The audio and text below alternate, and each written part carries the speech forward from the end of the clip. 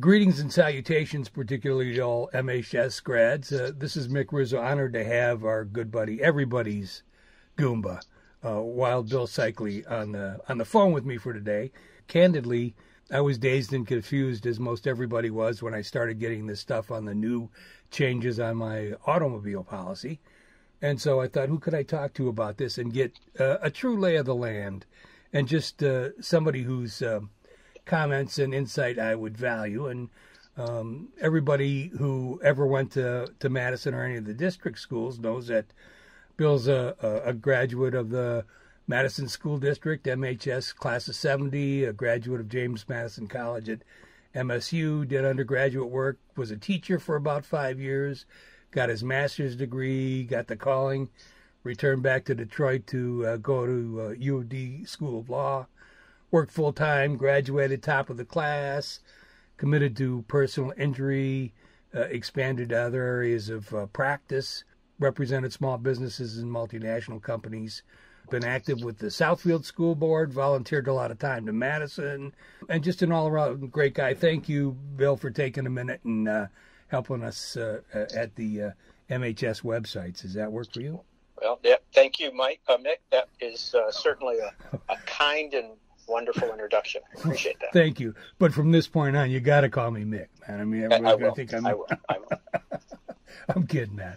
Uh, so, Billy, the, what I read today is that, uh, and you know, I'll, I'll, be honest with you, I, I kind of sort of knew this stuff, but nothing too technical.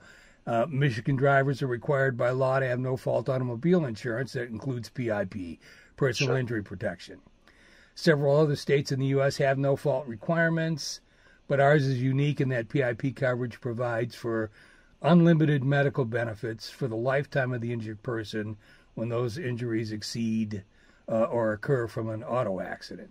So, it, humor me for a second, Billy. And is that the crux of what this is all about? That uh, that sure. Sure. Listen, when when this was done, and I believe that the No Fault Act was passed in 1977 or 78. I was in law school at the time, um, and it, it, was was and to this day is considered the Cadillac of all automobile plans. And the idea was that we would get rid of the uh, the typical lawsuit, what we call a third party claim, suing somebody for running that stop sign that injured you unless your injury met a particular threshold. And in exchange for that, what you got was no fault medical coverage. It didn't matter whose fault the accident was. If you got injured, you got medical care. And this was the gold standard. You got all your medical care, you got all your attendant care, you got what modifications needed to be done to your home.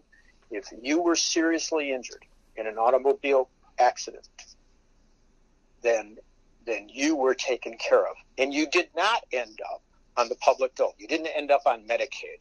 You didn't end up in a nursing home unless you chose or your family chose that for your care. It made it possible for these people to live with some dignity, uh, and and that's what it's that's what it's about. It says, what it was about until now. It says that um, today as a result that Michigan has the fourth most expensive auto insurance in the country.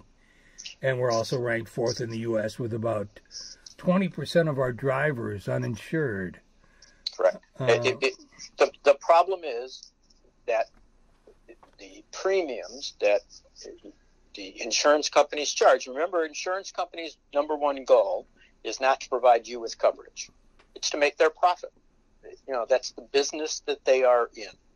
Um, I'm not making any value judgments about that, but as a result, the when you have a combination of skyrocketing medical cost and unlimited coverage, the insurance companies have increased and increased and increased their uh, payments. So one of the many things that this uh, this new legislation does is change it, it changes not only what kind of coverage you have to have, but it gives the insurance companies more control over how much they must pay for that coverage. All you had to do in the past was show that it was reasonable and necessary. Now they have all kinds of changes in terms of managed care options, and that's why this is going to be so complicated for people who are picking because they not only have to pick the level of coverage, but then what other kinds of attendant coverage they're going to get. Are you going to have? Are you going to take an option to um, have uh, other coordinated benefits for uh, for everything, almost everything that, that is in it. Are You're going to ch- choose to have uh, them control, the, the insurance company control who you get medical care from. That will reduce, could reduce your premium. So, You, are you going to choose to have attendant care if you need it? That will reduce your premium if you don't take it. So the big issue is going to be how much risk does a person want to take on? Because if you have a serious accident, represented plenty of paraplegics and quadriplegics as a result of auto accidents. If you and you have a two hundred and fifty or five hundred thousand dollar coverage, you will blow through that in about six months. Hmm. Even even if you have great health insurance coverage or you have Medicare, the cost of modifying your home, the cost of the attendant care, the cost of the rehabilitation centers that you have to go to are such that $250,000 would not be uncommon in just a few months. Hmm. Certainly, $500,000 in the first year is not an uncommon amount of money. It, Fortunately enough, we don't have a lot of quadriplegics in car accidents as a result of car accidents anymore. Cars have improved. Sure. So it's a risk benefit analysis that each of us are going to have to make. So as I look at my policy, because I printed uh, I printed it off for this conversation, uh, and I tried to wade through with the um, AARP Hartford Insurance people, um, right. and was was like really close to the vest when I'm trying to understand. So, based on our conversation, what little studying I've done, the PIP, the personal injury protection, which as I look at my premium here I see out of uh, $1,600 on my car, uh, $965 is uh, on the PIP right now, which is unlimited. Correct. Uh, I'm doing 103, 100,000 and 300,000 on my bodily injury liability, 100,000 on property damage, um, and uninsured. I don't know if this is redundant, but 100 and 300 um, on motorist bodily damage and uh, uninsured and uninsured. Right, right, right. Right. So it's not that's not redundant. Um, I, I really I have very strong feelings about making sure that you have underinsured, uninsured coverage. Cool. If you get hit by someone and you're in a serious accident, and they've got either no insurance or twenty thousand dollars worth of coverage, you want to make sure that you can go to your uh, insurance company and say, I want the difference between that and the hundred thousand dollar underinsured policy that I have or uninsured policy that I have. What what happens in that situation is you collect it from your insurance company rather than going against the other person. Hmm. What you have to do, you still have to show fault. But if you've got uh, somebody who hits you and they're at fault and they are underinsured, that's a protection for you. Sure. Um, what does this, in general, what does this mean to uh, the majority of us MHS people that are sure. linked in together, our um, our seniors or approaching senior status? Uh, what's well, that mean for senior car owners? So, so let, let's break this down in a couple different ways. First of all, how much liability insurance do you have to have? One of the things that most, many of us miss is as we get older and we get near retirement, we actually have more assets than we think we do. It's not uncommon for um, for somebody who has worked in a factory, just by way of example, all their life, and they've saved and they've got their retirement benefits to actually be worth a million dollars or close to a million dollars in assets. And if you have a limited amount of liability coverage, and you get into an accident that you're at fault in, then you could really lose almost everything that you have. for not because you don't have enough insurance. So that's one thing I suggest people take a look at. The, but the other is how much how much risk am I willing to tolerate? And I suggest people look at things like, okay, what's my Medicare coverage really like? Medicare covers 80% Part A uh, uh, for your health insurance. You've still got to pay the other 20%. Now, you can do that with a Medicare gap policy. Mm-hmm. Or, but if you don't have that, it's going to come out of whatever you pick as your personal and personal uh, your PIP benefits. So where where does that leave us, Nick? If you have Medicare and it covers 80% and you're a paraplegic or quadriplegic or you lose your legs or use of your legs, lose an arm, the medical bills will be such that you will still probably go through a couple hundred thousand dollars. And the question is, am I willing to risk that? Sure. What happens? What happens if you don't have enough coverage? you end up usually on both Medicare and then you end up on Medicaid as well. And the public will have to pay for that differential. Sure. So um, many of us have uh, the Medicare supplements. Uh, I would say uh, a, a, pretty good percentage do. I hope so. Yeah. I, I, certainly hope so, Mick. You're absolutely right. People ought to have a, a Medicare supplement. Um, you, you, do have to you, you do have to be careful though uh, one of the problems with buying Medicare supplements is that that that company ends up running your Medicare program. And I, I just went through this with a client the other day. Uh, he was in a nursing home. He got COVID, and uh, Blue Cross. He had a Blue Cross uh, supplemental plan, and they discharged, demanded that he be, be discharged from the nursing home, even though he tested positive for COVID. And I was told that Medicare would never have done such a thing. Hmm. But because Blue Cross makes its money by controlling the cost that they end up paying for you because he was asymptomatic and but tested positive for COVID, they still released him hmm. By refusing to pay for his coverage. So you, you, you, do need to be careful and look at those plans carefully um, uh, in terms of who you are looking at. I always recommend to people that they look at AARP um, endorsed policies for sure. that reason. And that, that does make sense. My my supplement is a is an AARP, as is now the Hartford the, the insurance. I took a look at it, and it's uh, you know you, you have to do a little bit of homework, but it's uh, it's been an asset in in both cases for me, and I feel comfortable. How does somebody review their policy? and uh, I mean, it's it's almost uh, pig Latin. Um, I will tell you, I, am disappointed to tell you, Mick, that too many lawyers don't know how to review their policy.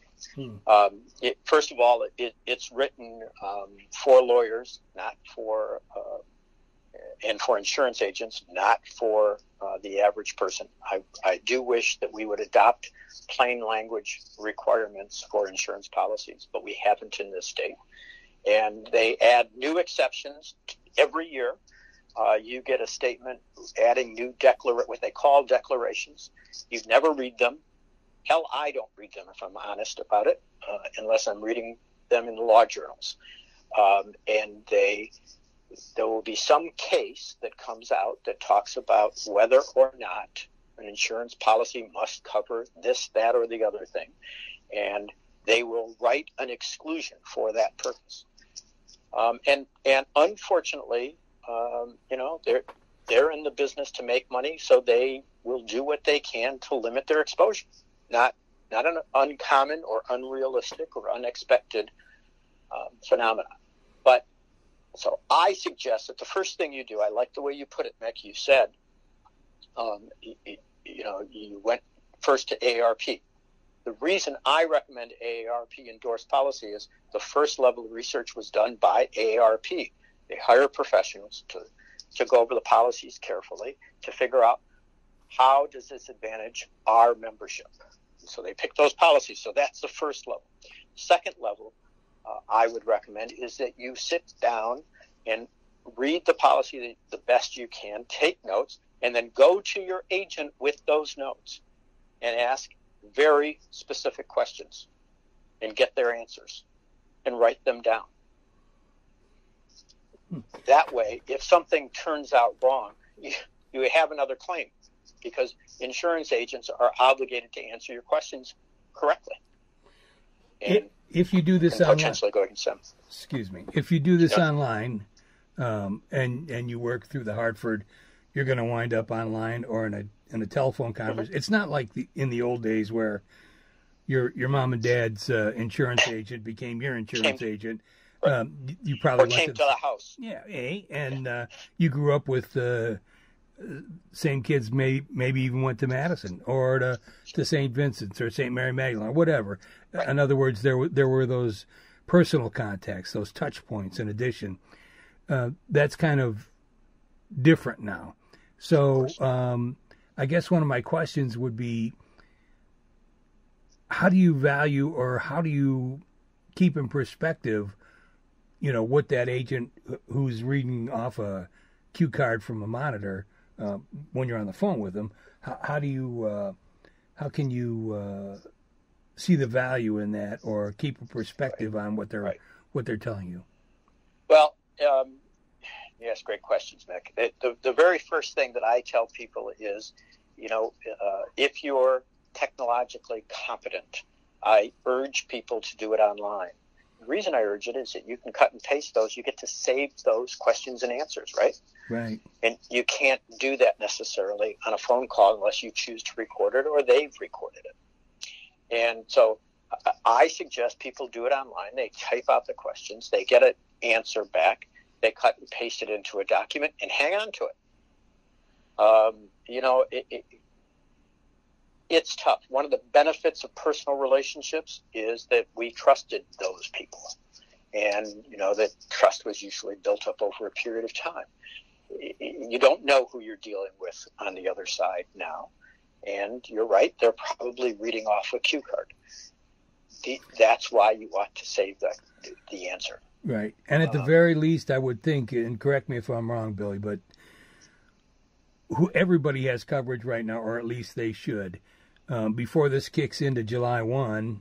And there's no guarantee. It just means that beginning July 1, when your policy next comes up for renewal, uh, you know, the old, the old sleight of hand is going to begin to take place. But point I'm making yeah. is hard copy yeah, your hard copy your coverage right now, so you can see what the bodily injury is, what you know, what the personal property is, and have that with you in hand, so you know what you're paying for now, and when the new and improved is coming down the line, you you at least can, in some way, shape, or form, and this could be apples and oranges, but it's got to come close to being able to line up with what you have today and what they expect from you in the future.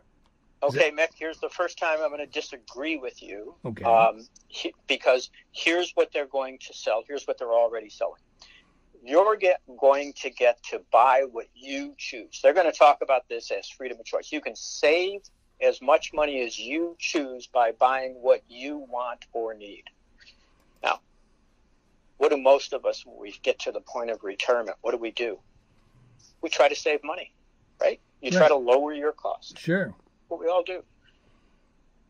But these are risk benefit analysis. You can save a lot of money on your premium. You can end up with what we like to call giraffe insurance.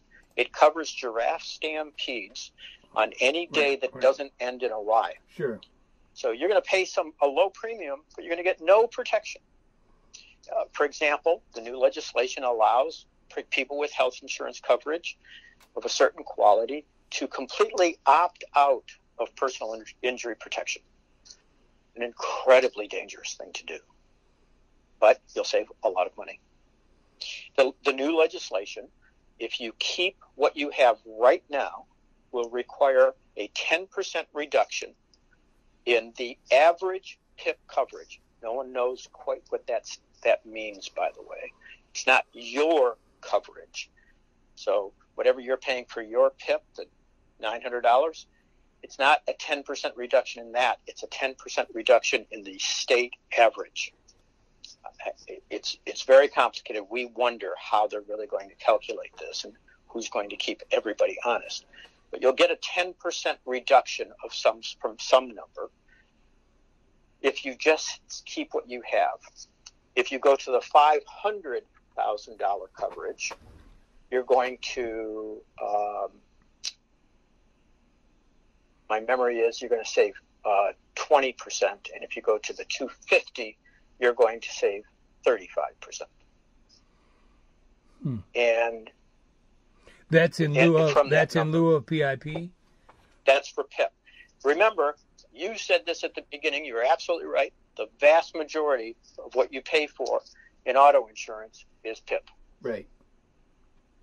So that's what matters. Now, these reductions are only guaranteed to the year 2028. So it's only eight years uh, worth of protection, uh, reduction.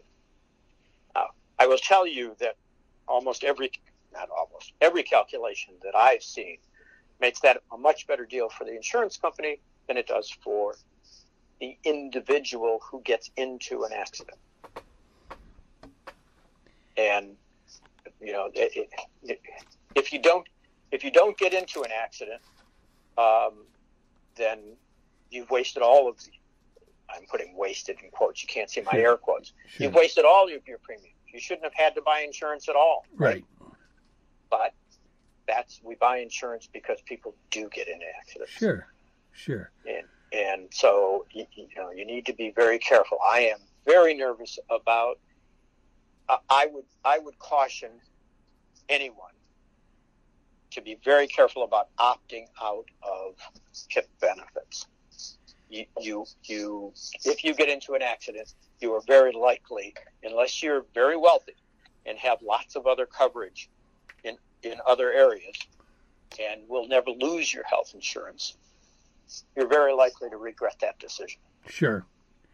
So, bottom, bottom in this entire conversation, if somebody only walks away with one thing, is don't let that pip go away, or don't don't get uh, enticed by the dark side that says you could save uh, three hundred bucks.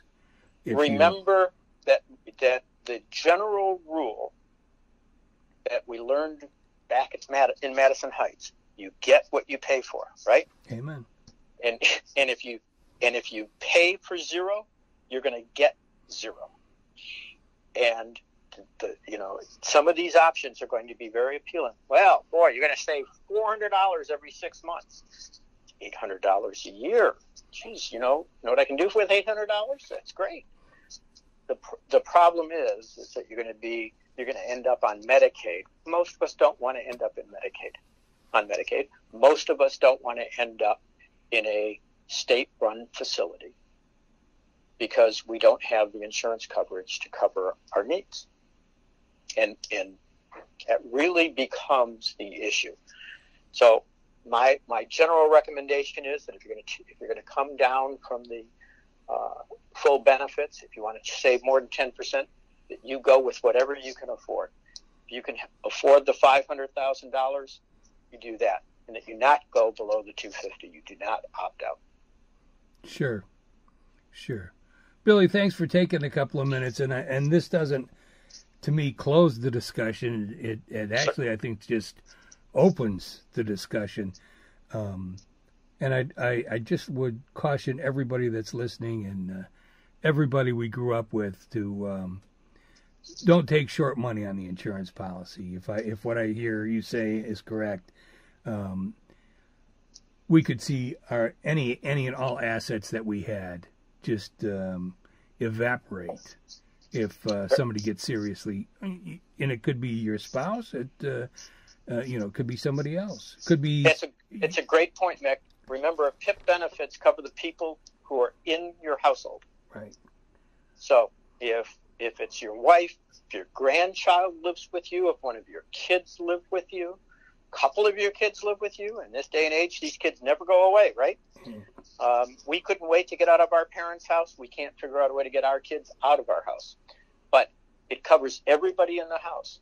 And I dare say that everyone I knew in Madison Heights when I was growing up, people I still know there, their kids or grandkids were in an accident, they'd spend every penny they had to take of care of them. Of course. Um, so, we always grow up thinking the worst thing that could happen is if something happened to me until we became a, spouse or especially a parent. Then Amen. you know that no, the worst thing that could happen is if something happened to my kid or my right. wife or my husband. Right. Uh, and that's uh, that's stepping into a, a, a, bigger reality. Hey, Billy, thank you. I Man, I just hope so that much. we can expand really this a little bit more, and um, let's see start what starts shaking out as. Uh, uh, and we haven't even touched on the why would the politicians do this to us? But then, hey, hey. Uh, Maybe we ought to stay away from political conversations in this day and age. Absolutely, but absolutely. I'm, I'm I'm more than willing to try and answer the questions that I can. This was this was a compromise. I mean, it, it, this this was a compromise. So we got some things out of it. We got eight years of some kind of reduction, even if we stay on the plan we have now.